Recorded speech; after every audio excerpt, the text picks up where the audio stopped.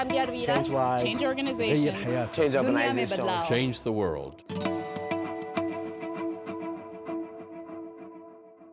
We uh, appreciate you all being here today. Thank you for the time investment that you're making. Uh, let me begin by reintroducing ourselves. Most of uh, you know us as we've interviewed most of the people in the room as part of this process. Lead Commission put together over the past year, really at the behest of the Secretary of Education and the head of the FCC. Concept is a extra governmental entity that would help accelerate what's happening in this very complex market. Co-chairs Lee Bollinger, who sends his regards, could not be here today because of Columbia responsibilities. Myself, Jim Steyer, Margaret Spellings with us, and a huge group of supporters that we should now add all of you to the list. What are we doing? To remind you, uh, we came with the belief that everyone in the room has. Technology has revolutionized everything. It is going to revolutionize education. There have been a thousand flowers planted. They are blooming, but there is very, very little structure to the garden. And there is a role for someone to get in there and help at a governmental policy and market level to help that garden grow and find its order. Know, quite frankly, we're six months into this and the need is greater, the activity level is greater than we had anticipated. We had to organize ourselves. Five steps. We've spent most of the past four months with your help learning and synthesizing, now identifying challenges and opportunities, going to inform. Key element, we've been charged like a term paper with a blueprint to do put out sometime after the election. We don't want this to be a political issue. We want this to be a bipartisan issue, and the data shows that it is. And then, is this something that we should continue in the future as a way of helping the market? Where are we? Learn and synthesize. There are so many things to read. We've read most of them reports, uh, uh, outputs, studies, et cetera. But most importantly, it is moving so quickly, you have to get to the cutting edge. So we're 150 plus interviews into this, one on ones with people at the coalface of what is happening in the marketplace. Uh, our observations from that enormous, cool innovation. Have you ever walked through the CES show out in Las Vegas? There's always a lot of stuff going on, and there's enormous, cool innovation. Unfortunately, we have to remember not that many of those products make it to market.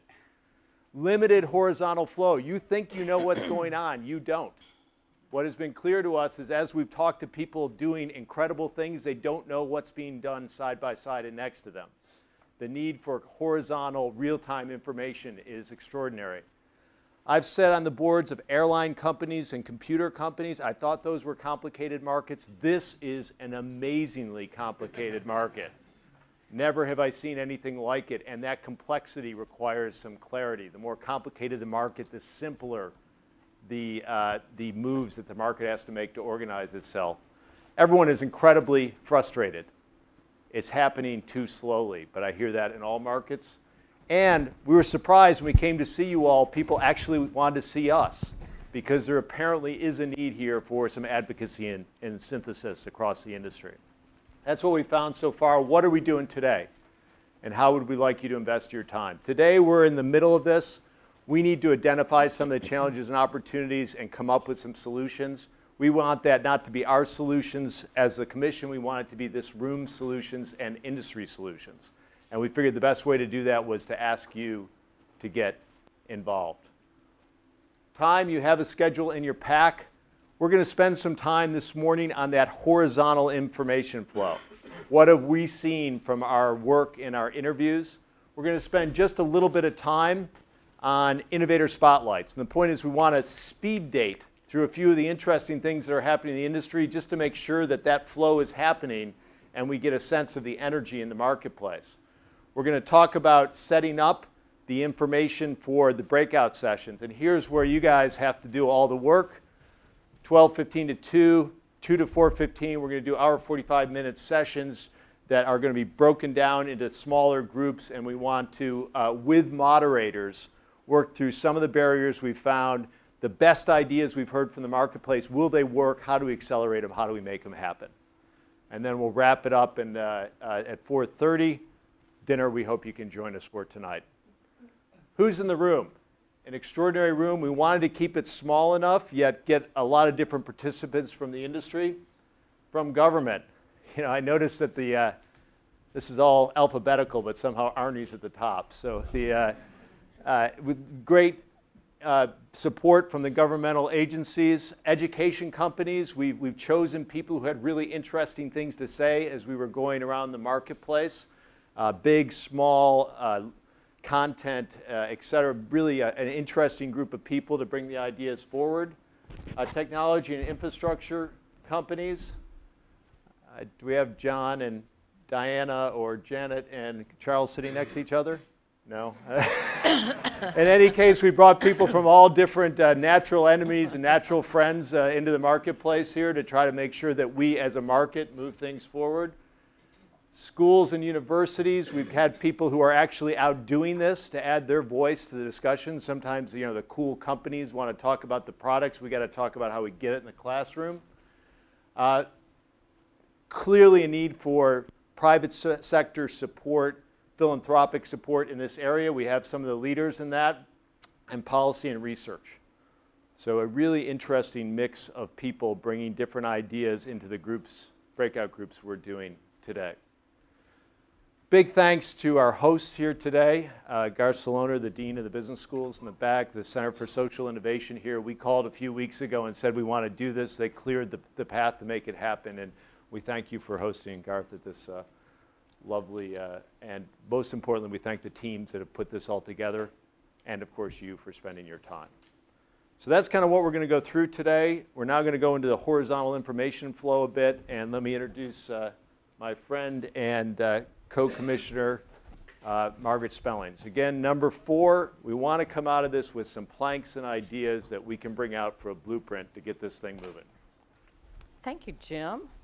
Welcome, everybody. Okay, so this is one of those deals where everybody in this room could get up and, and make a speech about this topic, probably better than the three co-chairs. And so uh, we understand that. We're humbled that you all are here, and we thank you and, are, and recognize the kind of talent that, that is in this room today.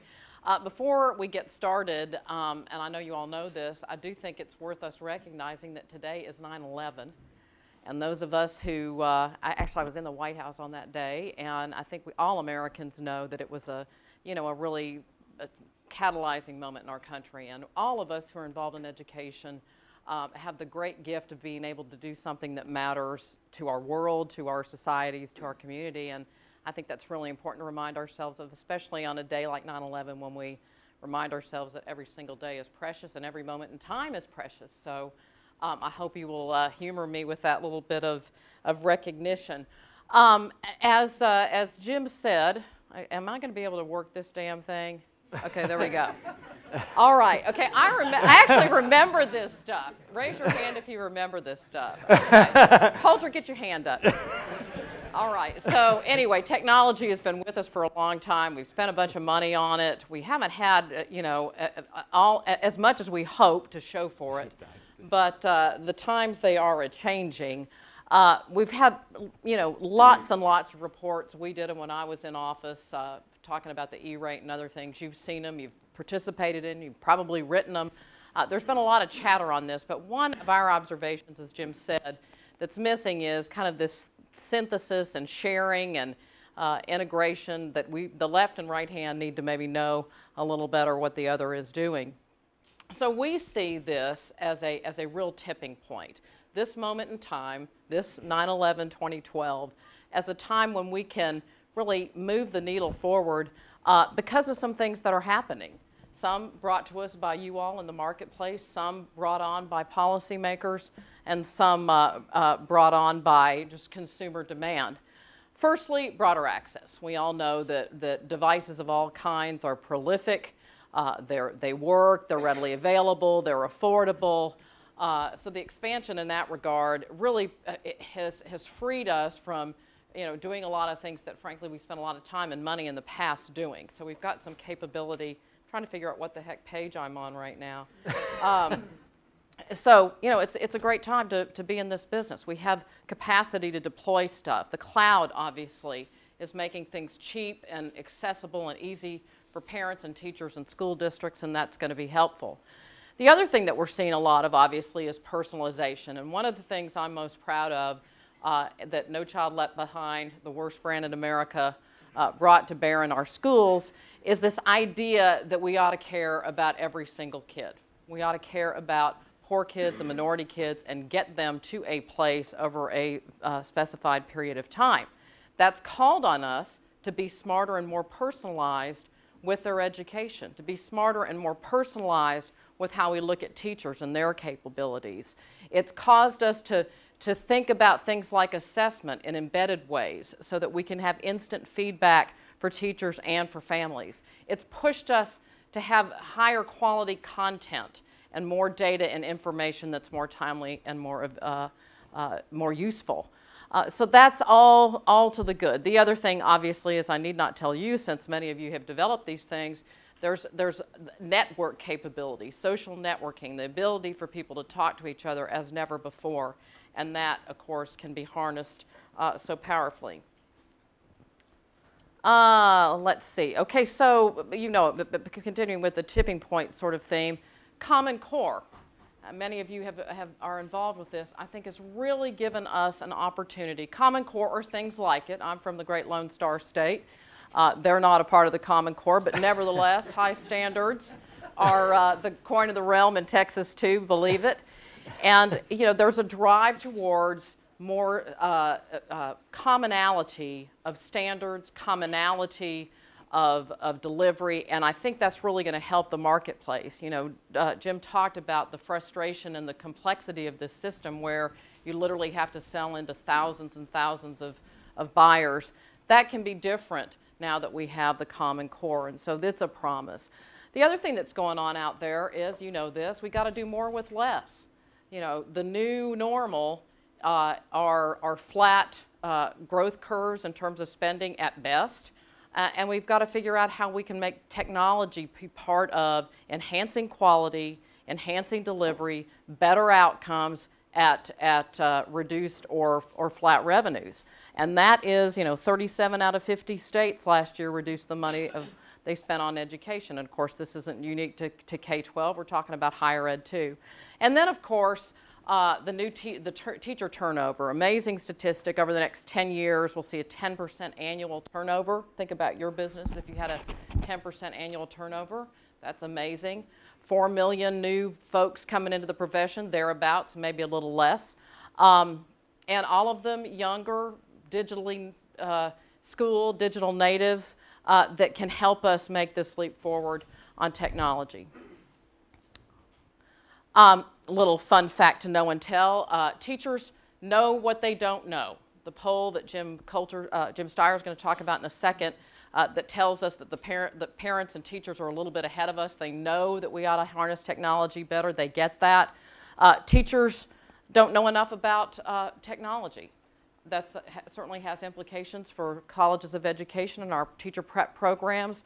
They didn't receive training. They had a little, they need more. They have some, but they need more. So, you know, wild support for resources for teachers. Uh, you know this, innovation is happening everywhere. And again, I think our point or observation is that it's a lot of, you know, you probably aren't aware of everything everybody else is out there doing. I know I'm not, and I'm pretty close to this field. Uh, and, and, so the opportunities to, to stay smart about what's going on in the marketplace I think is really an important role that the lead commission can play. Um, finally, we need to, we hope that the lead commission will be used to inform not only each other, uh, but the public and our stakeholders as well. Um, that's why we're here today. You're going to hear from uh, some testimonials and some exemplars of the kinds of things that are going on here. It was, I'm glad I didn't have the responsibility of picking the eight people that, that are going to present the speed dating uh, to you because any one of you could certainly have, have been asked to do that, and I hope you'll share your stories as the day goes on.